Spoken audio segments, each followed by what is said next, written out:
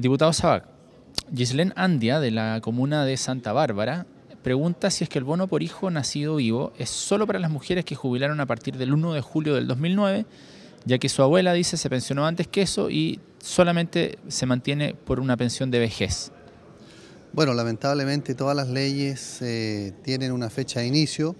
y esta reforma previsional estableció que todas las mujeres que jubilen a partir del 1 de julio del año 2009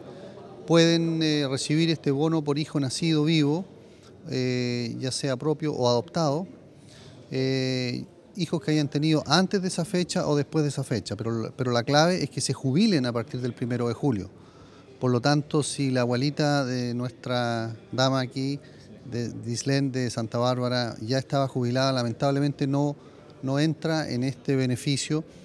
Quedaron excluidas eh, todas las eh, mujeres que pertenecen a las Fuerzas Armadas, ya sean carabineros, PDI, Gendarmería y Fuerzas Armadas en general, ya sea cónyuges o bien mujeres que son parte de las Fuerzas Armadas. Ellas también quedaron eh, excluidas puesto que ellas pertenecen a un sistema previsional distinto. Esa situación es la que estamos tratando de corregir con un proyecto de acuerdo que acabamos de presentar. Extender el beneficio, yo creo que sería interesante en todo caso hacer el cálculo porque evidentemente que hay muchas mujeres que ya se pensionaron, que reciben pensiones muy bajas y que tuvieron muchos hijos. Por lo tanto, yo creo que sería bueno estudiar eh, a qué universo